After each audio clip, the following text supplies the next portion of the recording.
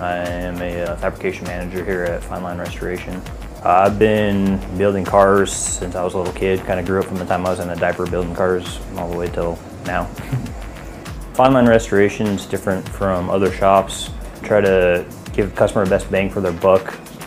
We're kind of like a one-stop shop. We can do whatever the customer might need, and it might be just fixing a, a roll bar or, or going into like a full build.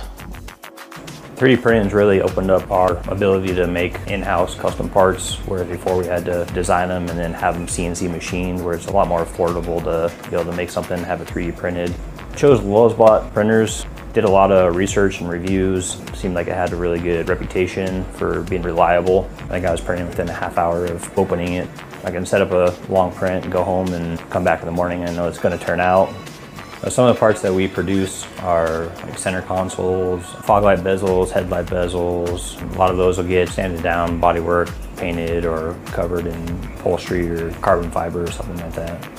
It's really changed the way we kind of look at things and do things around the shop.